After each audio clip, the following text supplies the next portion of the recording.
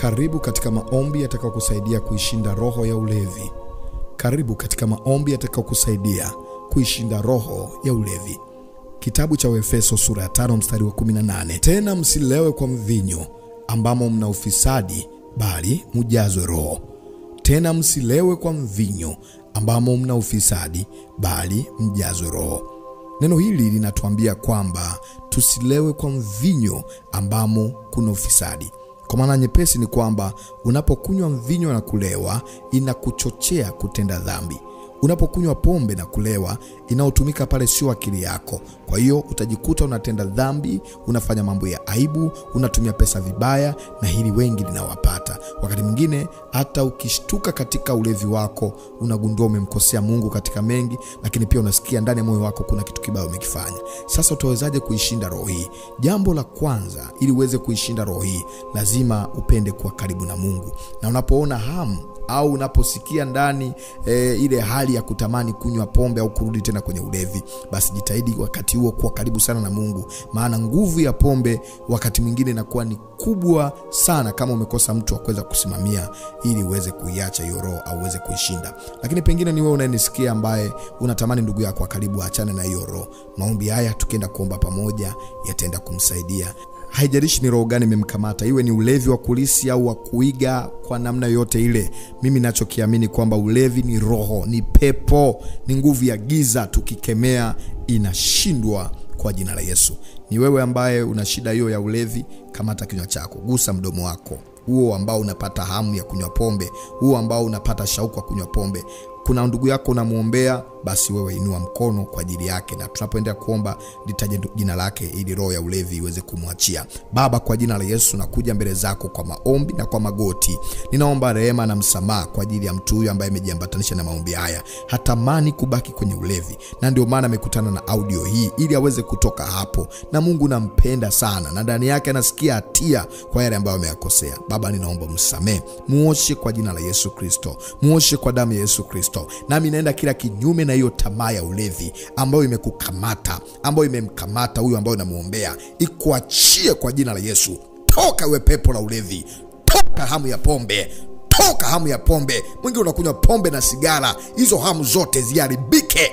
Toeka we pepo, haribika kwa jina la Yesu, na yeyusha hiyo kiu, kiu ya pombe, yeyuka, kiu ya pombe, toka, toka, toka kwenye kinywa hicho, toka kwenye mdomo huo, na kataa mawazo mabaya na kataa ya pombe ndani yako, ikuachie kwa jina la Yesu. Natuma moto, ewe pepo la ulevi, ewe pepo la kuharibu pesa, ewe pepo la kumletea aibu, na kataa. Toka hiyo hamu ya pombe, toka hamu ya pombe, toka hamu ya sigara, toka hamu ya ulevi, chomoka we pepo toka we roho ya giza. Unanisikia? Ni roho kamili, ninakusemesha kwenye kinywa hicho, unayeleta hamu ya pombe. Ninakuamuru wewe roho ya giza, na kuamuru wewe nguvu ya madhabahu ya ulevi Toeka, uwe ni roho ya kurithi, uwe ni roho ya kuiga, uwe ni roho ya kipepo iliyokuzonga, inayokufanya unasahau familia, unasahau majukumu yako, unatumia pesa malengo ya timii. Hiyo ni roho ya kufirisiwa, hiyo ni roho ya aibu, na ikataa kwa jina la Yesu. Na kataa hiyo roho ya ulevi, ikuachie kwa jina la Yesu. Pepo la ulevi, toka Toeka moto, moto, ungua, ungua, ungua, ungua, ungua kwa jina la Yesu. Toeka upepo la ulevi, ninakukataa ndani ya mtu huyu. Hamu ya ulevi yote ikuachie. Hamu ya zinaa, toka we pepo, chomoka we jini, toeka roho ya kurithi. Toka roho ya ulevi kwa jina la Yesu. Mwachie mtu huyu, sio mali yako. Mwachie mtu huyu kwa jina la Yesu. Nawe endelea kukana, endelea kukataa, endelea kukataa ulevi. Kataa hiyo roho, sema naikataa, nitaishinda kwa jina la Yesu. Sitabaki kwenye ulevi, sitabaki hapa hapa. Nakataa hii roho ya ulevi, nakataa ushawishi, nakataa hii roho ya giza inaonifuatilia. Kataa, kataa, kataa, kataa, kataa, kataa, vunja, vunja, vunja. Sema Mungu nisaidie, Mungu nisaidie, niishinde hii roho kwa jina la Yesu. Mawazo mabaya, kampani mbaya Mungu akuepushe nazo, Mungu akutenge nazo kwa jina la Yesu. Pokea nguvu ya Mungu, pokea nguvu ya kushinda, pokea nguvu ya Mungu na nuru ya Mungu ikuangazie. Mungu akupe wepesi kwenye uchumi wako, Mungu akupe wepesi kwenye kazi zako, Mungu akubariki, Mungu akusaidie, Mungu akutetee. Hiyo roho isikurudie tena, hiyo roho isikufuatilie. Ufanye maamuzi yenye nguvu, Roho Mtakatifu akusaidie, ufanye agano la kimungu kwa jina la Yesu Kristo. Ninakuombea ikawe hivyo kwa jina la Yesu, amen. Mungu akubariki. Naitwa mwombezi Pastor Godwin Nderwa. Ninaamini Mungu amekutia nguvu kwa maombi haya.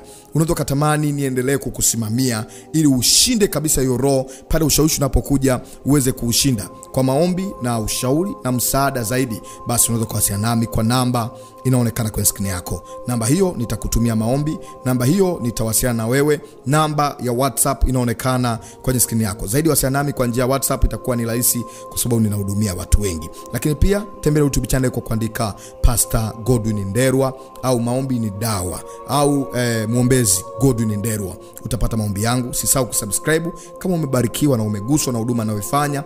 Eh, bonyeza pale eh, subscribe, lakini pia bonyeza alama ya kengele ili wa kwanza kupokea maombi na vipindi ninavyovitoa kila siku. Mungu akubariki, Mungu akutetee, utashinda na utaishinda hiyo roho kwa jina la Yesu. Uwe na wakati mzuri.